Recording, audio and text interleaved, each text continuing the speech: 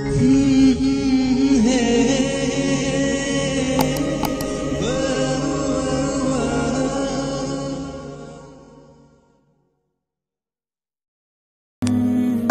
আলাইকুম ফ্রেন্ডস কেমন আছেন সবাই? আশা করছি ভালো আছেন। আজ আমি আপনাদের জন্য ফাবিহান অসিনাপুর লেখা প্রিয় বিমান গল্পের তেরো নম্বর পর্বটি নিয়ে হাজির হয়ে গেলাম। আশা করছি আপনাদের ভালো লাগবে। আর তাই গল্পের শুরু থেকে শেষ পর্যন্ত দেখার পর অবশ্যই কমেন্ট করে জানাবেন গল্পটা আপনার কেমন লেগেছে। যদি ভালো লেগে থাকে একটি লাইক দিয়ে দিবেন, আর যারা ফারুক স্টাডি চ্যানেলটি এখনও পর্যন্ত সাবস্ক্রাইব করেনি দেরি না করে চ্যানেলটি সাবস্ক্রাইব করে পাশের বেল আইকনে ক্লিক করে রাখুন, আর যারা ফারুক স্টাডি চ্যানেলটি সাবস্ক্রাইব করে আমার সাথে আছেন, তাদেরকে জানাই অসংখ্য ধন্যবাদ। তো চলুন, বেশি কথা না বলে সরাসরি গল্পে চলে যায় বিকেল নাগাদ সবাই হোটেলে পৌঁছে গেল। রুহানি গাড়ি থেকে নেমে আরমোড়া ভেঙে দাঁড়াল। ওর একটু জানিতে হাঁপিয়ে যায়। ক্লান্ত শরীরে বিছানায় এলিয়ে দিতে ইচ্ছে করছে। রুহানি নিজের লাগেজ হাতে নিয়ে বন্ধুদের সাথে হোটেলের গেট পার হয়ে চারদিকে চোখ বোলালো। চারদিক নীরব, নিস্তব্ধ কোলাহল মুক্ত কোনো হোটেলের পরিবেশ যে এতটা নিরিবিলি হয় তা জানা ছিল না। বিস্তৃত লন, সুইমিং পুল, সবটা জুড়ে নীরবতা। রুমিকে ফ্রেশ হয়ে রুহানি বিছানায় গা এলিয়ে দিল। রুহানির শান্তি লাগছে। কিন্তু সে শান্তিটা বেশিক্ষণ স্থায়ী হলো না। নুসা এসে ওর হাত ধরে টানতে লাগল। বলল, শুয়ে পড়লি কেন? খেতে যাবি না? রোহানি হাত ছাড়িয়ে নিয়ে বলল, একটু রেস্ট করতে দে। নুসা বলল রেস্ট করতে গেলে আর খাবার পাবি না। চল তাড়াতাড়ি, ওঠ। খেতে চাইলে এক্ষুনি যেতে হবে। নুসা জোর করে রুহানিকে উঠিয়ে নিয়ে গেল। খেয়ে একটু আড্ডা দিয়ে রুহানি রুমে ফিরতে চাইলে নুসা আবার ওর হাত ধরে নিচে নিয়ে যাচ্ছে। তুই কি আমার হাত ছিঁড়ে ফেলার প্ল্যান করছিস? আমার হাত ছাড়।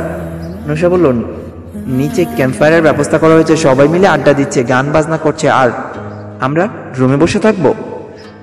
রুহানি বলল, আমি একটু রেস্ট করতে চাই প্লিজ মাত্র কিছুক্ষণের জন্য। নুসা বলল, আমরা এখানে রেস্ট করতে আসিনি, মজা করতে এসেছি।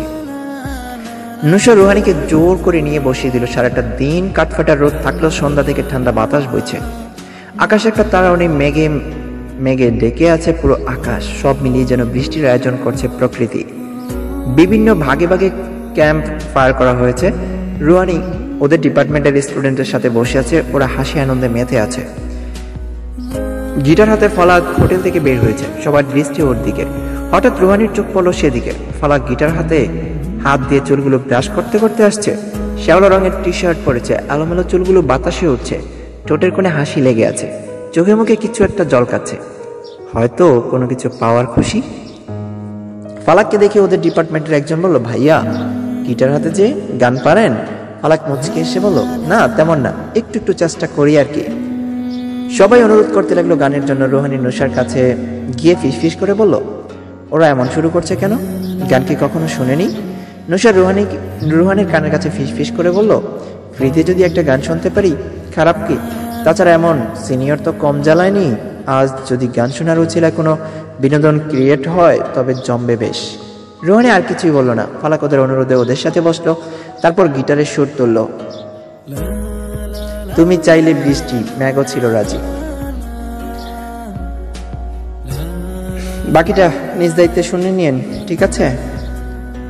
এমন রোমান্টিক ওয়েদারে ফালাকের গাওয়া গান রোমান্টিক পরিবেশ সৃষ্টি করেছে। সবার মনে এই মুহূর্তে হালকা প্রেম প্রেম অনুভূতি যাচ্ছে হারিয়ে যাচ্ছে দূর অজানা কিংবা স্বপ্নের রাজ্যে।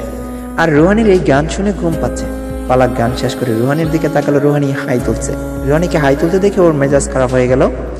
সবাই যখন ফলাকের প্রশংসা করতে ব্যস্ত, তখন রুহানি হাই তোলায় ব্যস্ত। রুহানি নুসাকে বলল, দোস্ত, ঘুম পাচ্ছে। নুসা বলল, এত তাড়াতাড়ি? মাত্র তো সন্ধ্যা। রুহানি বলল, গান শুনে, সব দোষাই গানের। গান শোনার পর পরই ঘুম পাচ্ছে। রুহানি ফালাকের দিকে না তাকিয়ে কথাগুলো বলল। তারপর ফালাকের দিকে চেয়ে দেখে ফালাক ওর দিকেই চেয়ে আছে। ফালাক উঠে দাঁড়িয়ে বলল, তুমি কি মিন করতে চাইছো? রুহানি উঠে দাঁড়াল, তারপর বলল, আমি কিছুই মিন করছি না। ফালাক বলো তাহলে বললে কেন? আমার গান শুনে ঘুম পাচ্ছে? রুহানি ফালাকের কথার উত্তর না দিয়ে নুসাকে বলো আমি তোকে একটা কথা বলেছি। সেই কথা নিয়ে উনি কারাকারি করছেন কেন? নুসা ফালাকের দিকে তাকালো। ফালাক বলল, তোমার সাথে কথা বলল কথাটার মধ্যে আমি ছিলাম।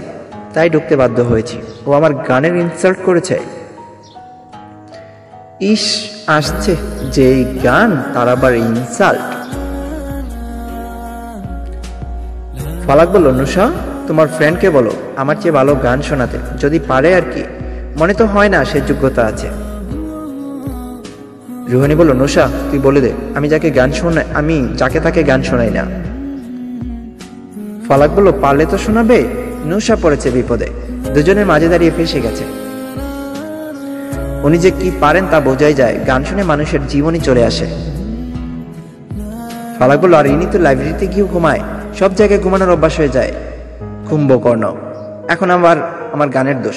রুহানি দাঁতে দাঁত চেপে বলল নুষা ওনাকে মুখ সামলে কথা বলতে বল। নুষা ওদের মাঝখান থেকে সরে বলল গাইস ওয়েট ঝগড়া করবে নিজেরা, সরাসরি করো। আমি বেচারিকে কেন টানছো নেই, সরে গেছি। এখন মন মতো ঝগড়া কর, আমি শুনি। দাঁড়াও, আমি বরং ফোন বের করি রেকর্ডিং করি। যারটা ভালো হবে তাকে পুরস্কার দেওয়া হবে। ডন টরি সান্ত্বনা পুরস্কারের ব্যবস্থা আছে। রোহানির দিকে চেয়েই বলল। রোহানি নুষার দিকে চোখ পাকিয়ে তাকালো, তারপর বলল, আমি যাব। তার সাথে ঝগড়া, আমি যার তার সাথে ঝগড়া করি না। তারপর ফালাকের দিকে তাকালো। ফালাক তাচ্ছিল্য করে বলল, ঝগড়া করা তোমার মতো ঝগড়াটে মেয়ের কাজ। আমার কাজ নয়। রোহানি নিচ থেকে ফোন তুলে হোটেলের ভিতরে যাওয়ার জন্য পাবরালো ফালাক গিটার হাতে ভিতরে যাচ্ছে। রোহানির পিছনে ফালাককে দেখে বলল, তুমি আমার পিছনে পিছনে আসছো কেন? ফালাক টেডি স্মাইল দিয়ে বলল, কারণ তুমি আমার সামনে সামনে হাঁটছো। রাস্তা ছাড়ো, আগে যাই। রোহানি আরও জোরে জোরে হাঁটা শুরু করল। ফালাক ওর পিছনেই রয়ে গেল। দুতলা সিঁড়ি পার করে তিনতলা সিঁড়িতে উঠেছে। ফালাক পিছন থেকে বলল, তোমার মতলব কি? রোহানি অবাক হয়ে পিছনে ঘুরে বলল মানে? মতলব? কিসের মতলব? ফালাক উপরের দিকে ইশারা করে বলল, তিনতলায় তো আমার রুম তুমি তিনতলা কেন যাচ্ছ? আমি যতটুকু জানি ভার্সিটি থেকে সব স্টুডেন্টদের জন্য পুরো দোতলা বুক করা হয়েছে। রোহানির হুশ এলো। ঝগড়া করতে করতে, শুধু সিঁড়ি পার করতে, করেই যাচ্ছে। কোথায় যাচ্ছে তার বোধ নেই। তিনতলা সিঁড়িতে চলে গেছে। রোহানি ফালাকের দিকে একবার তাকালো। ফালাক মুচকে মুচকে হাসছে। এইটুকু যেন রুহানির শরীরে আগুন জ্বালাতে যথেষ্ট। তবু ভদ্রমীর মতো ফালাকের ফালাকের পাশ কাটিয়ে দোষিরির নিচে নেমে ফালাকের দিকে ব্রকুচকে চেয়ে বলল, তুমি তিনতলায় কি করতে যাচ্ছ? তোমার রুমও তো দোতলায়। পালাক দোষীর নিচে নেমে বাঁকা এসে বলল, তা দিয়ে তোমার কি? এত খবরদারি খবরদারি কেন করছ? তুমি কি আমার জিএফ? রোহানি ফালাকের কথা শুনে ফালাককে ধাক্কা মারলো। ফালাক তাল সামলাতে না পেরে নিচে পড়ে যাচ্ছিল রোহানি। সাথে সাথে দুহাত দিয়ে ফালাককে ধরে ফেলল। রোহানির বুক টিপ টিপ করছে, সারা শরীর কাঁপছে। ফালাক নিচে পড়ে গেলে কি হতো? ওর হাত পা ভেঙে যেত অথবা মাথা ফেটে যেত। তুলকালাম কাণ্ড বেঁধে যেত, রোহানিও ফেসে যেত, লাইফে আরেকটা সমস্যা অ্যাড হতো। পালাকেরও ক্ষতি হতো। পালাক অবাক হয়ে রুহানির ভয়ার্ত মুখের দিকে চেয়ে আছে। এর আগে কখনো এত ভয় পেতে দেখেনি রুহানিকে।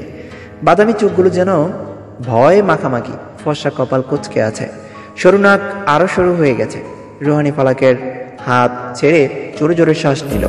রুহানি কণ্ঠস্বর মোলায়েম করে বলল সরি সরি আমি ঝুঁকের মাথায় ধাক্কা দিয়ে ফেলেছি। এখন থেকে পড়ে গেলে কি হতো সেটা ভাবিনি।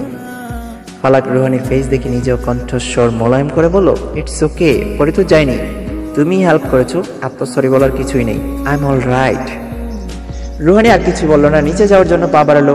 রোহানি আচরণ ফালাককে অবাক করছে। এ যেন সেই রোহানি নয়, কোথাও একটা পরিবর্তনের ছোঁয়া আছে। তবে এই রোহানিকে মন্দ লাগছে না। ফালাক রোহানির যাওয়া দেখে বলল, শোনো রোহানি পিছনে ঘুরলো। ফালাক রোহানিকে এক পলক দেখে বলল, আমি তিনতলায় আগে থেকে একটা রুম করে রেখেছি। আসলে আমি কারোর সাথে রুম শেয়ার করতে পারি না তো, তাই। শুভরাত্রি। রুহানি কিছু না বলে দ্রুত নিজের রুমে চলে গেল।